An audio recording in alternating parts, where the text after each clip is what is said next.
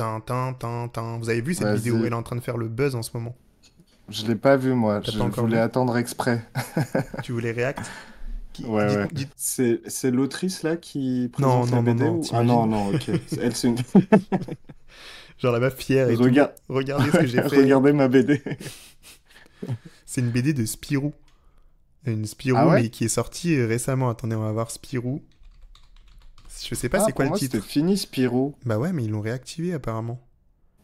Euh, attendez, vous savez c'est quoi Ah, le titre la les morts, quoi. Ouais, et mal en plus, tu vois. ouais, très très. c'est des zombies. Je crois que c'est celle-là, non? Ouais, j'ai l'impression que c'est celle-là. Non, c'est pas celle-là. Ouais, a, ah non, non. il y a un y a- et tout. Je me rappelle, je lisais Spirou. Mais vous avez vu celui-là? Ouais, moi aussi. On va en parler de celui-là à un Le moment aussi, rayon hein. noir? Celui-là, je l'ai lu hein, quand j'étais petit. Ah ouais? Ouais, La blackface là un peu, non? c'est intense. C'est genre, euh, il, il Après c'est une dans un BD rayon- mais Ouais, quand même hein. il passe dans un rayon euh, laser bizarre et puis boum. Le gars est un Renoir. Ouais. Mais attendez, Spirou. Il y a écrit quoi? Et, Bah vas-y, on va on va Écor- on va regarder. Non, non, non, non. Le gars, Ah non. pas- Le gars, il veut pas cliquer. ok, vas-y, on va regarder. Donc, pour le contexte, c'est une meuf. Tu la connais elle cette TikTokeuse ouais? Non, pas du tout, justement. J'ai découvert son compte euh, là en ayant euh, le truc qui a popé sur TikTok et qui est en train de faire le buzz un peu partout. Elle s'appelle Charlotte, chat-PR, et elle a dit la BD la plus raciste de 2024. Ce serait pas mal de faire un tu sais un les Césars, tu vois. C'est clair. Mais il y avait ça, Rokaya Le Diallo, elle faisait César ça. de ça. Les Yabon, Ah les... ouais les Yabon Awards. Tu connais pas? Ah waouh, énorme. Attendez. Par rapport à Yabon Banania, j'imagine. Ouais. Rokaya avec euh, les Indivisibles, c'était une association. OK. Ah, ça s'est arrêté en 2013. Les Yabon Awards, c'était un truc de ouf.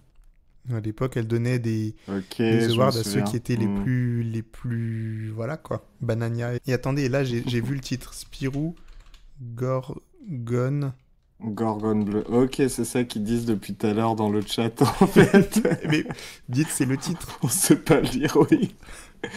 Vous écrivez Gorgone comme ça. Ok, et la Gorgone bleue. Et merci Tata Drapi Ah, pour le, t'as ra- Drapi, le trop raid. bien. Trop bien. Bienvenue tout le raid. On parle euh, d'histoire coloniale, de racisme, d'antiracisme sur la chaîne Histoire Crépue. Et on va s'apprêter à regarder une vidéo qui a l'air franchement scandaleuse. Tu veux nous faire le, le teasing, Réa?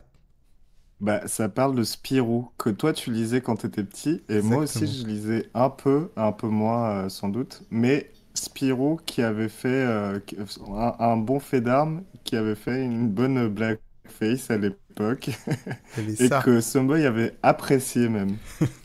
J'avais kiffé. Franchement, je voyais un personnage noir. Déjà, j'étais fan de Spirou. Et je m'étais dit, il y a un noir et tout. Genre, c'est trop intéressant, un Spirou en noir. En vrai, j'avais plutôt aimé, je crois. hein. Ok, tu te souviens mais- pas? Ouais, ça se trouve c'était bien, hein. Ou alors on n'avait pas le, t'avais pas le même recul qu'aujourd'hui. Je crois que j'étais pas woke, j'ai l'impression. Je pense qu'on on ne naît pas woke. c'est clair. ok. Comme, euh, comme... Bon, vas-y. Imaginez, je clique sur play, c'est-à-dire on va enfin voir cette vidéo. C'est un truc de ouf, non? Tiens entre mes mains une des BD les plus racistes de 2024. Vous n'êtes pas prêts parce que je vais vous montrer maintenant tout de suite. Vous connaissez sûrement les BD Spirou, ça date d'il y a bien longtemps, ça doit faire 50, 60 ans que ça existe, donc il y a eu beaucoup de tomes, Ah. il y a beaucoup de dessinateurs qui se sont enchaînés, etc. Parce que forcément ça date de longtemps. Et ma soeur, ça fait des années qu'elle les lit, donc là elle en a acheté un nouveau en se disant bah ok super, euh, voilà. Puis on a découvert les dessins, et puis on a un peu halluciné. Cet album, J'avoue, j'avoue, j'ai halluciné aussi. hein. Je rajoute encore plus Ah de ouais, suspense. Ouais. Je pensais que ça allait être Non, mais- chill, tu vois. Parce que j'avais vu ça, Ah ouais, donc je me disais, ça va. Ils savent faire des noirs et tout. Non, là, ce qui va suivre, les amis, c'est extrême. Attends, attends, attends. Parce que, genre, Tintin au Congo, par exemple, c'était quand même pas mal, tu vois. Tintin au Congo, c'est chill. C'est chill à Ah côté, ouais de, à côté de ce qu'on va voir. Mais attends, parce que c'est raciste envers les Noirs et les Arabes? C'est raciste envers c'est en beaucoup de choses. Ok. Ok, ok. Ouais, vas-y, ouais. on a des personnes noires qui sont représentées, qui sont dessinées. Bizarrement, quand t'as des personnes blanches, tu reconnais direct que ce sont des humains. Mais quand tu vois des personnes euh, noires, on dirait Ah clairement ouais des singes. Mais euh, vous allez voir par vous-même. Si mais- tu ne sais pas qu'on tu, tu vois ce que c'est un singe? Ouais, je vois un singe, ouais. Voilà. Même dans Non, Congo, les noirs, ils ressemblent pas à ce point à des singes. C'est une blague. N'est pas dans la planète des singes, tu peux penser que c'est des humains avec des singes. Je suis encore choquée, hein. avec ma soeur, on est resté pendant 10 minutes derrière les dessins, choqués. Ça, c'est des personnes blanches, on peut bien reconnaître que ce sont des humains, il y a rien. Attention, ça va de pire en pire, voilà, voi- voilà. Waouh. Là, on est sur un Attends, truc réel. on est là. dans genre en mode c'est dans le futur ou c'est dans le présent genre? Non, c'est c'est- c'est dans le présent, j'ai l'impression. Enfin c'est dans un endroit où on existe quoi. Voilà. Là, on est sur, euh, on est sur, censé être sur Terre. En tout cas, j'ai pas lu le livre encore, mais j'ai l'impression qu'on est censé être sur Terre. Mais wesh. Donnez-moi, mais c'est quoi ça Parce que je, je demande parce que en gros ça aurait pu être euh, la planète des singes. tu vois, voilà, capté. exactement. Que Ouais, ouais. c'est que ça Non, là, c'est vraiment, ils se sont dit, vas-y, on va dessiner des personnes noires, mais Ah. vas-y, on va dessiner des singes, mais vas-y, on va dire c'est des personnes noires. Mais on dit on dit que c'est des personnes noires ou on Bah- dit que c'est des singes? J'ai l'impression que c'est c'est vraiment des personnes noires. Il va falloir qu'on achète le livre, on va être obligé. On est obligé On va de être obligé de l'acheter. le livre. Qui, On qui est en l'a- 2024. qui a le livre et qui peut nous, le- nous le filer? Parce que là, euh, il va falloir qu'on vérifie. Vas-y, euh, le dimanche, dimanche 3 novembre, on a le livre et on check à Ah ouais, l'intérieur. ok. Vas-y, on check avec tout le monde pour voir, genre, c'est quoi cette dinguerie? Qu'est-ce qui s'est passé? On se... on se rajoute ça dans la to-do C'est list. clair. C'est grave. La différence de couleur, comme. par- Pardonnez-moi, mais c'est quoi? Wesh. Mais il a fait les poils et tout, enfin, c'est un vrai singe. Mais même les mains, tu vois, c'est c'est vraiment des, des mains de singe, quoi. C'est pas, c'est plus du tout un humain. En fait, c'est genre, qui ce gars? je sais Qui- pas. C'est qui le dessinateur là? Je crois que vous l'avez écrit dans le chat là, mais si quelqu'un l'a clair. et veut s'en débarrasser, je veux bien. Ou sinon, je vais le trouver sur le bon coin. Mais d'où sort ce livre? Où est ce livre? Attends, Comment, alors, comment elle a pu l'avoir. Le Bon Coin. Attendez, il y en a un sur Le Bon Coin. 12 euros en stock. Ouah, c'est cher, hein. Ouais, mais c'est la lutte. La lutte. Il dessine les noirs comme Franquin dessinait les singes. Ouais, ouais mais c'est exactement ça. Ah non, mais vous avez raison. C'est bien la Gorgone bleue. Le livre dont elle parle. C'est juste que Ouais. à l'arrière du livre La Gorgone bleue, il y a écrit le retour de la Gorgone noire. Du coup, elle nous a induit en erreur en montrant l'arrière du livre. Oui. Danny Yann et Yann Le Pennetier. Danny Yann. Ah, Danny Donc c'est bien ce livre. Yann Le Pennetier. Ah, c'est le dessinateur, euh, c'est le dessinateur et ouais, tu, tu dois avoir l'auteur à côté. Ouais, Attendez. voilà, c'est ça. Ça- ça- Danny le dessinateur et Yann le l'auteur. Ok, ok. Donc Dany Enrotin. Avec sa tête, Dessinateur ah ouais, avec sa tête. Oh là là, ça commence Ah, très tu mal. vois, ouais, ouais. Ça On sent la vibe quand même. Ouais. hein. On commence, ça commence pas On très sent bien la vibe Bernard tout. Lugan. Ah ouais, les frérots. Ah, wesh. Alors, regardez. Ah ouais. Ça va pas être facile de les intégrer ces deux-là. Wesh. Tu parles surtout pour le mec avec son chapeau de bouffon. Ouais, ringard le look. Alors, est-ce que vous pensez que c'est un dessinateur antiraciste ou un dessinateur raciste sont les nouveaux antiracistes ou un dessinateur raciste sont les racistes? Je pense que là, il dit euh, on parle pas assez de la souffrance des blancs. euh, dans- C'est le Ils grand sont plus intégrés. C'est le grand Oh. remplacement. J'étais pas prêt à ça. Ouais, c'est full raciste, hein. full sexiste. C'est trop blanc. Tu as Mister, un dessinateur engagé. Oh my Ouais, god. ouais, ouais. Ah, j'étais pas prêt. Là, c'est quand tu cliques sur Je dessin, ça, direct, fait. t'arrives là. hein. Et effectivement, là, on reconnaît qu'effectivement, quand il dessine une personne noire, euh, bah, on est effectivement Ah ouais, il le, il le fait vraiment On de base, ils, bien ils sur sont ça, hein. noirs. Enfin, les noirs, pardon. Ah, il y a Monsieur Paf qui nous fait un gros raid encore. Wow, Énorme. merci beaucoup pour le Salut. raid. Alors, on est, on est en train de regarder la BD la plus raciste de France. Donc, c'est un Spirou. Euh, Spirou et la Gorgone bleue. Ce Spirou dans lequel des personnages noirs sont dessinés de la sorte. C'est-à-dire qu'ils ressemblent faut très clairement à des singes et pas à des personnes noires. Donc on se dit, mais c'est une dinguerie. Et du coup, on faisait une petite recherche sur euh, qui était le dessinateur de cette euh, BD et qui étaient les auteurs. On est tombé sur Danny, du coup. Danny comment? Et... En rotin, je crois. ouais, Dany Enrotin. en rotin. C'est ce monsieur le qui, dessinateur. qui a des qui a des takes. Il a des takes. qui est ce monsieur, ouais. Avec lequel nous sommes en désaccord un- politique. Qui a l'air d'avoir envie de dire des choses en tout cas. C'est clair. Et auquel on n'est pas forcément d'accord, ouais.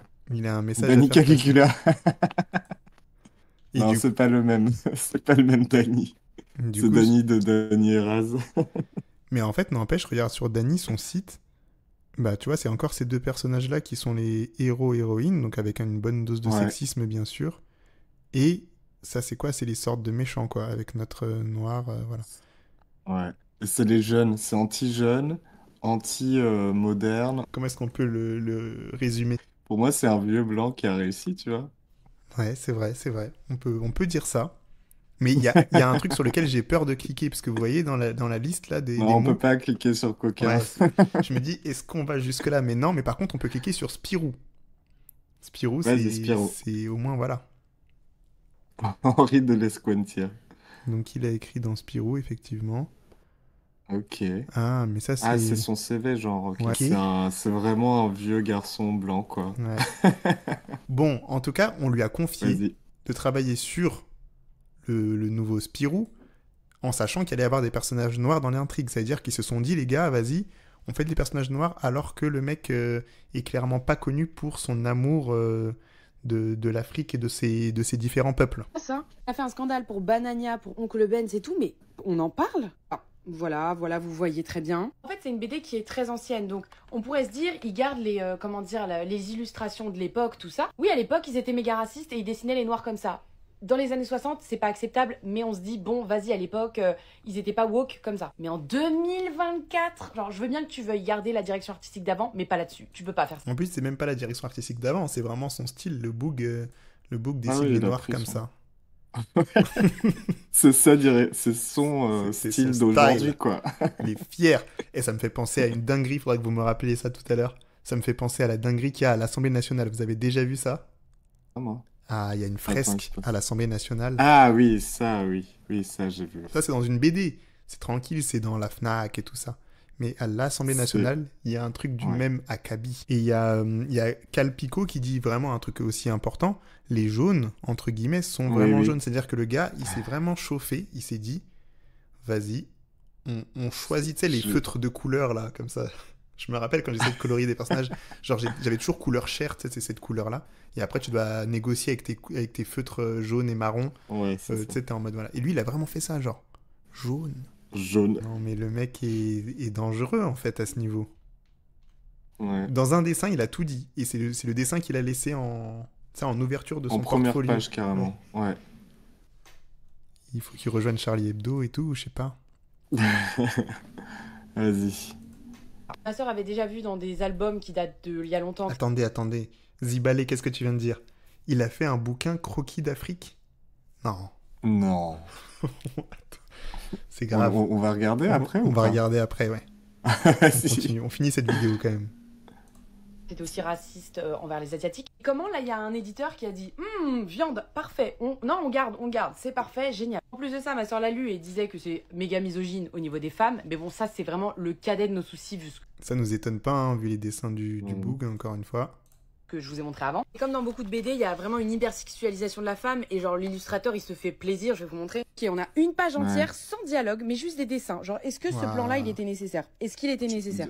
A Lui, il est sur des sites un peu chelous, je pense. Ouais. Et ça, Mm. c'est vraiment le truc euh, genre d'aventure coloniale, tu vois.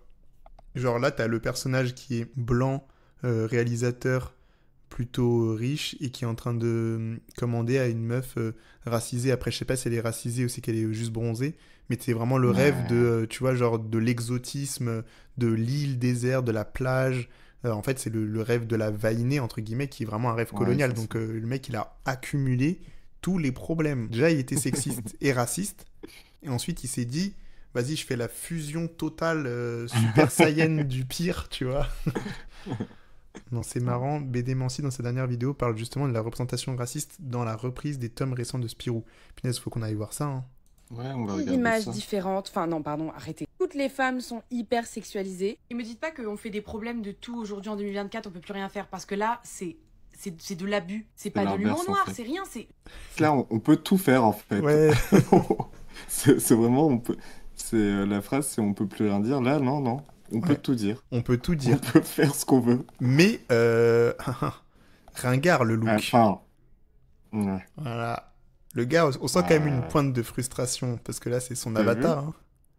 C'est quand même un C'est lui, de hein. C'est lui. waouh. Dany. Est-ce que on va jusqu'à pousser à chercher qui est sa femme Non, pour non. voir si elle ressemble? On va la laisser hors de ça. On va la laisser hors de ça. Ouais, on va la laisser tranquille. Il, a déjà... Il est déjà Euh, trop grave. Juste des dessins qui sont. Mais, mais- enfin, moi, je suis personnellement choquée. C'est pourtant une BD. Ma soeur m'a dit qu'elle aimait beaucoup cette BD, mais elle a dit, elle arrive même pas à la terminer. Elle a dit, je regrette d'avoir acheté ça. J'aurais dû me renseigner parce que là, c'est pas possible. J'appelle euh, les maisons d'édition à demander, mais euh, qu'est-ce qui vous s'est passé par la tête en fait? Vas-y, venez, on cancel euh, Casterman, hein. Casterman, non? Comment on fait? Qu'est-ce qu'on peut faire pour les mettre dans la sauce? C'est même pas Dans Casterman, son c'est TikTok. Dupuis. Ah, c'est Dupuis, ok. Non, mais Putain, on a failli mettre dans la sauce une mauvaise C'est personne. clair, voilà, voilà la cancel culture et ses ravages. Les tribunaux d'internet. Non mais les gens, venez on met Dupuis dans la sauce. Qu'est-ce que vous en pensez? Comment on fait pour les mettre dans la sauce? On fait un tweet? Peut-être qu'il faudrait qu'on fasse un tweet. Non mais de toute façon sa vidéo elle a Ouais, déjà fait tellement de vues, elle a fait déjà tellement de vues sa vidéo là, c'est un je pense qu'elle est- elle va arriver au million, je sais pas combien elle est là pour l'instant. Je pense qu'elle est déjà à plusieurs millions là. hein. 93 000 likes. Ah 700 000, 700 000. Ouais. Ah ouais, je pensais que c'était plus.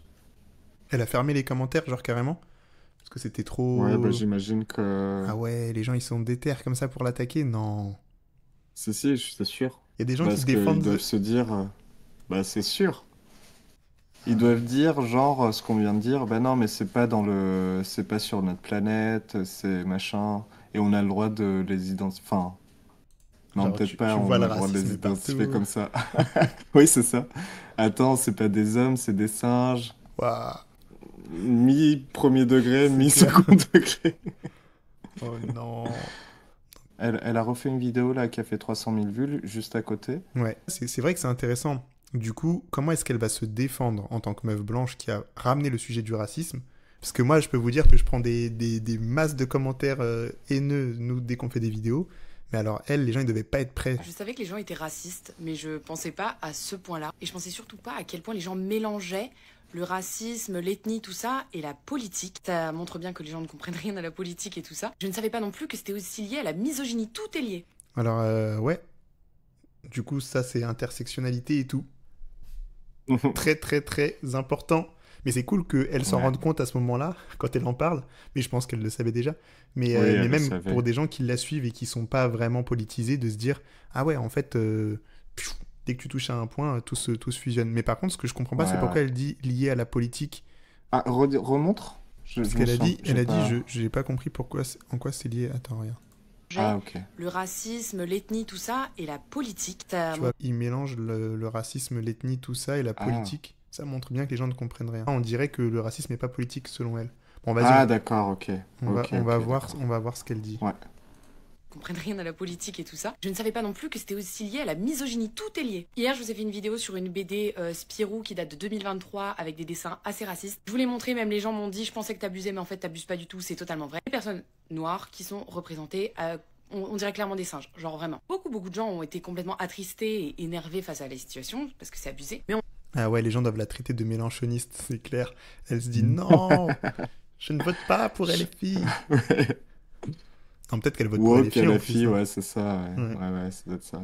Ça se trouve, elle vote pas On du tout la trois- fille. Hein. Mais ça se trouve, elle vote LFI aussi, tu vois, on sait, on sait pas. hein. Oui, ça se trouve aussi, ouais. Non, Ouais, j'en sais rien. Ah, elle est macroniste 100% Ah Vas-y, ouais. on, on va voir, euh, on va scruter son truc après. les gens, ils vont aller. Normalement, c'est Dany. hein. Non, on va plutôt être sur les côtes de Dany aujourd'hui, mais on va quand même Ouais, écouter ouais, ce qu'elle on, dit. on est sur les côtes de Dany. Ouais. de personnes qui... euh, vraiment, les commentaires sont affligeants. Je me suis battue avec ma propre vie depuis hier, parce que je trouve ça, mais horrible de dire des atrocités pareilles en toute impunité. Je fais pas de généralité, hein, mais tous les gens qui ont été comme ça, à 99%, ce sont des hommes blancs, qui, je pense, ne sont pas Oui, c'est les mêmes qu'on a sur le chat. Tout à l'heure, il y avait Je un pense qui que- disait qu'il regardait Bernard Lugan. C'était toi, c'était toi, mon rêve. Non, je pense qu'elle est au courant de tout ce qu'elle raconte et Oui, c'est oui. juste qu'elle fait de la pédagogie là. Du tout éduqués, qui n'ont pas de... que ce soit de l'éducation politique, euh, qui ne sont pas ouverts au monde, je sais pas d'où ils sortent ces gens-là. Et donc on m'a traité de gauchias, je n'ai pas parlé de politique. Je pourrais être de Ah ah Ah bon. Ni de gauche, Ennemi de droite, on sait ce que ça veut dire.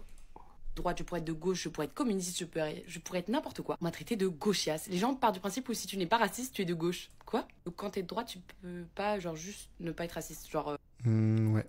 Ah, bizarre l'ambiance.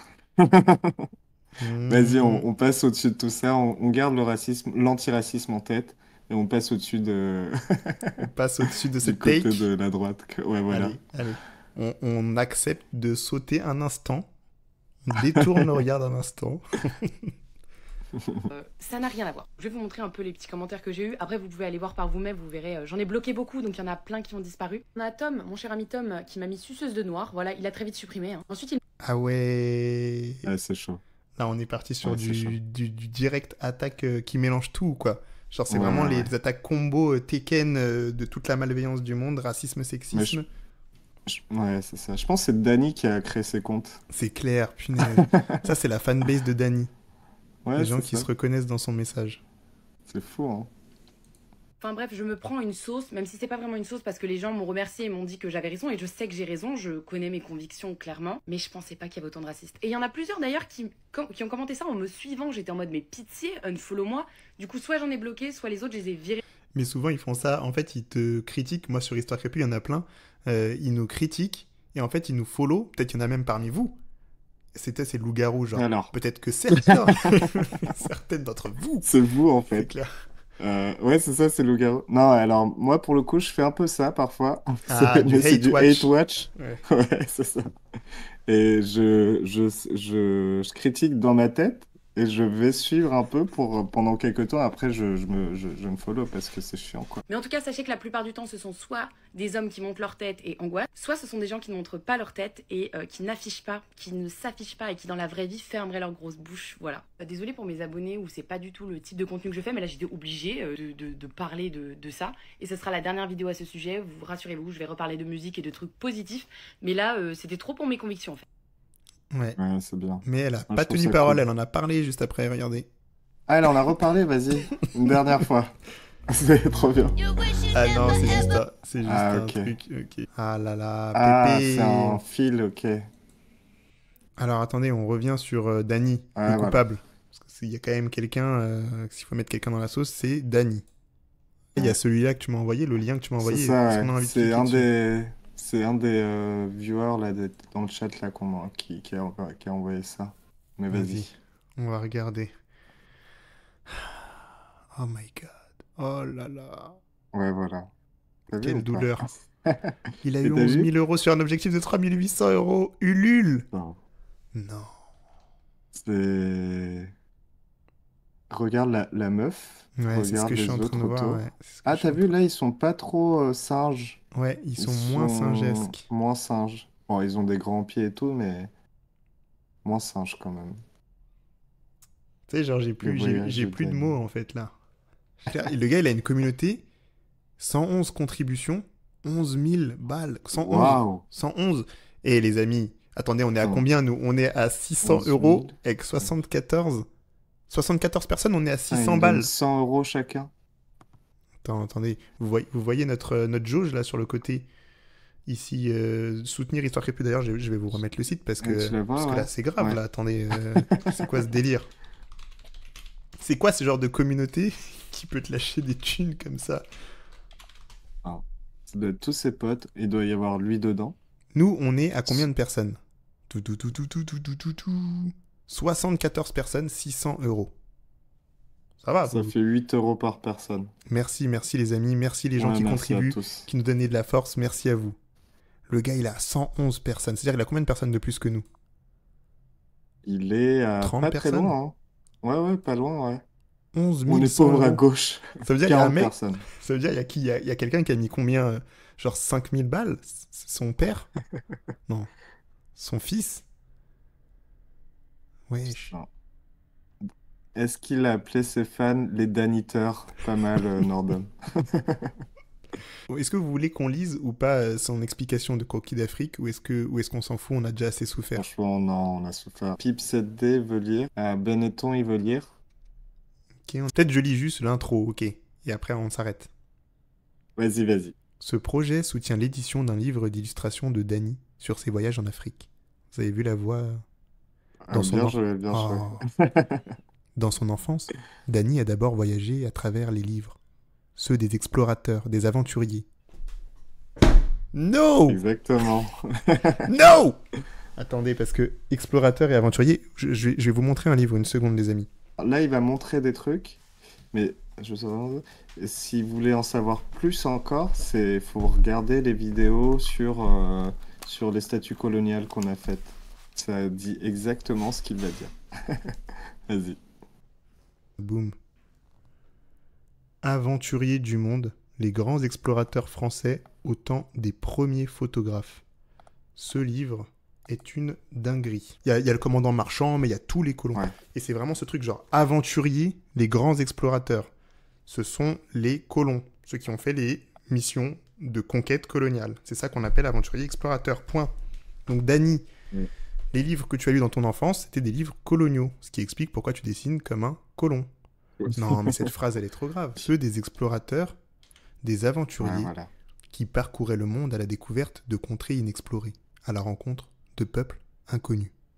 En fait, il oublie ce que ça veut... Enfin, il sait pas ce que ça veut dire, en fait. Il croit que c'est juste l'aventure, c'est Indiana Jones, c'est euh, c'est ce qu'on leur a raconté dans les livres. Mais en réalité, la réalité, c'est ce que dit euh, Françoise Vergès dans le docu. C'est juste du massacre de, de population, quoi. Ouais. De tu- des tueries et des viols, etc. Mais, Mais lui, il non. s'en rend pas compte. Lui, il est toujours dans le dans l'imaginaire colonial 100%. Et il Ouais. appelle ça voyage en Afrique. Son métier de dessinateur lui a inculqué cette curiosité pour observer son environnement afin de le reproduire avec justesse. Ah, Ouais, ouais, ouais, il a bien reproduit. il a bien, bien reproduit. Ce regard, Danny le promène avec lui lors de ses voyages autour du monde, ce qui lui permet de revenir avec un tas de dessins réalisés sur place. Certains servent directement dans ses BD, d'autres dorment dans des carnets. Nous les avons ouverts pour vous. On arrête, hein, on arrête la souffrance. C'est trop, là. Stop, finito. Stop. Madagascar, c'est chez toi. Non, mais vas-y, frère. Ok, on arrête, on C'est arrête. trop Dani. Danny, c'est bon. On est sorti de cette, de cette loupe. Ouais. Waouh, c'était intense, hein.